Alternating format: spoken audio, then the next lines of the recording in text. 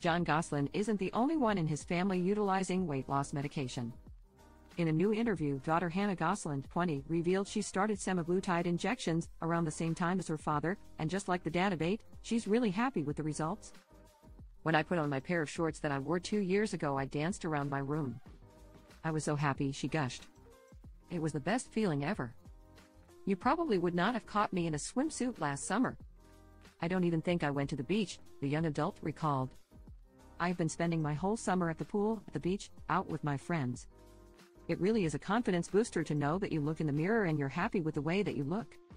47 also said that the slim down, he's lost 75 pounds overall, helped with his confidence. I work out at the beach and sometimes I don't wear a shirt because it's 100 degrees outside now, the Jon and Kate plus 8 alum explained.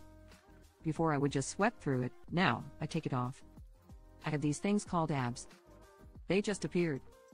The pair knows they can't take the medication forever, with Jon adding that they're now weaning themselves off of it and are becoming more focused on actively changing our lives through a healthy diet and exercise. In particular, the duo has opted to decrease their intake of things like pasta and soda and instead start eating more lean meats and protein shakes. Hannah and her brother Colin, also 20, are the only two of Jon's children who live with him, as the other four sextuplets chose to reside with his ex wife, Kate Gosselin, 49, when they ended their marriage in 2009. The former spouse's older kids, twins Cara and Madelyn, 23, also lived with Kate before they moved out on their own post college. While the DJ hasn't been able to connect with his estranged kids, alleging Kate has control over their phones, he revealed Hannah is still in touch with her other siblings.